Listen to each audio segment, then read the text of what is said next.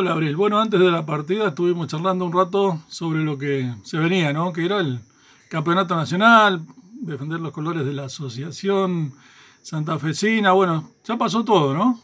Y bueno, de regreso en la localidad, contanos un poco cómo, cómo fue tu vivencia. La verdad, experiencia nueva que viví con las chicas, no me quería volver, fue acompañada de mi mamá y mi hermano, fue más que no sé, es como que no tengo palabras para explicar lo que sentís o cuando ves dónde estás jugando o hasta dónde llegaste.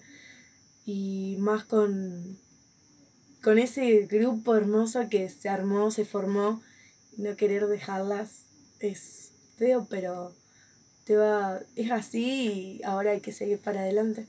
Claro, disfrutando, haciendo y sabiendo de que había un montón de, un grupo muy importante, por lo menos aquí en la localidad, de, de gente que estaba pendiente también de lo que pasaba, ¿no? Sí, encima eh, me preguntaban, por ejemplo, los pocos tiempos que tuve en mi celu, me preguntaban y era como, sí, Dai, ya te cuento, rápido, va. Y era ganante que me saquen el celular para que todos más o menos se informen y ya los, agarrar tu celular y ver esos hermosos mensajes que te mandaban de apoyo, de fuerza, que vos te daban ganas de, ah, seguir, dale, yo quiero representar o representar algo rojo como nunca. Es, así, esos alientos que te dan. Momentos inolvidables. Sí. Bueno, eh, ¿en lo deportivo? Te fue muy bien también. En lo deportivo fue duro, fue difícil, pero creo que con ganas y actitud, créeme que vas a querer arrasar todo no te, no te importa nada. Pero fue bastante peleado. Eh, no sé, no. Esto, la verdad que muy bien.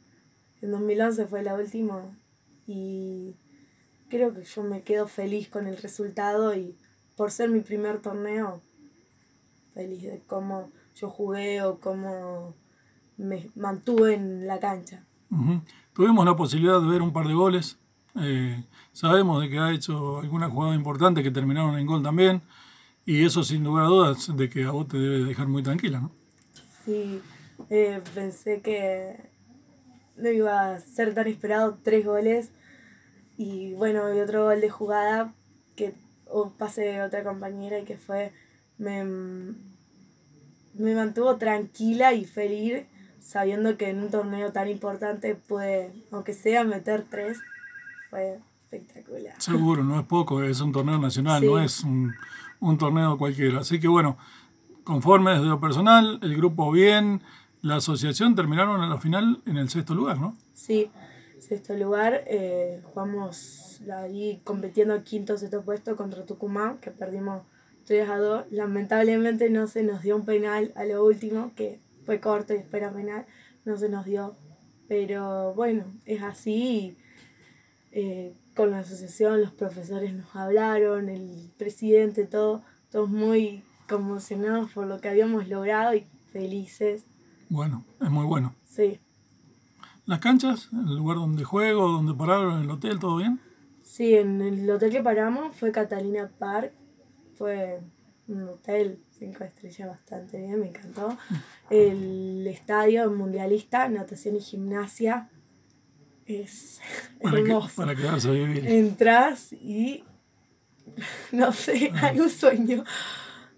Y eh, jugamos en otra cancha que fue, esa era cancha de agua, natación y gimnasia era cancha de agua.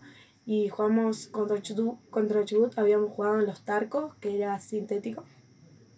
Que también una cancha bastante linda, pero el estadio no se compara. cuando vos vas a la noche y ves todos los reflectores, soy yo. Claro, además está eh, enclavado en una zona donde es la cuna del hockey, ¿no? San Juan, Mendoza, por allá, todo. Sí, San Miguel. Tucumán. Es todo donde realmente hay mucha, hay mucha y, buena actividad, buen hockey ahí. Sí, bueno. El que superó todo, Buenos Aires, pero Tucumán también. Arrasador. Bueno, vale, vale la pena el esfuerzo, ¿no? Eh, el entrenamiento, a veces cuando no, hay ganas, viste que por ahí a veces no, uno no siempre está con... Eh, cuesta a veces arrancar para un entrenamiento, un montón de cosas, un sacrificio que hay que hacer, pero bueno, vale la pena. Sí, solo decir que, que nada, si nada te impida, hay que seguir para adelante, creo que todo tiene su, al final su logro, su esfuerzo. Si vos le das un toque ahí de decir, a veces, por ejemplo, no te dan ganas, pero ponete a pensar y dale para adelante que créeme que Mm. vas a llegar a algo. Son los objetivos que por ahí Sí. se, se logran, ¿no? Ujú. Bueno, Abril, la verdad que nos, nos puso muy contentos a todos de que te haya ido bien, en lo personal, ¿no? Después, bueno, en, en lo grupal, mejor todavía, la asociación, pero bueno, nosotros eh, hacíamos hincha y, y- y esperábamos siempre noticias tuyas. Sí, el, mi mensaje del, del equipo del rojo fue, me, me encanta tener ese apoyo sabiendo que, y con más, porque vos decís, tenés a tu equipo apoyándote y decís, da, yo quiero Claro. el rojo acá.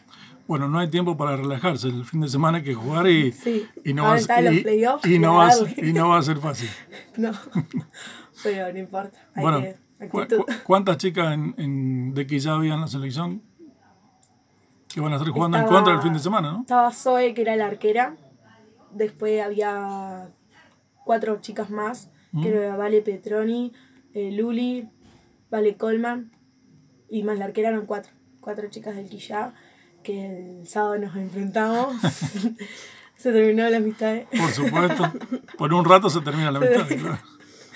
Bueno, No, bueno, que sea con, con éxitos, ¿eh? Sí. El- para, para ver si se puede definir el, un año que ya es muy bueno para, para el hockey de, de Atlético en la categoría sub-14. Haber clasificado para la Copa de Oro este, gran no, no había pasado antes, ¿no? no, fue un, en- un gran avance lo que tuvimos y también lo que entrenan, lo que entrenamos con las chicas de acá del Rojo eh, para llegar hasta donde estamos y creo que todos queremos la copa, así que vamos a dar con todo el sábado. Bueno, gracias y felicitaciones nuevamente. Abril. Muchas gracias.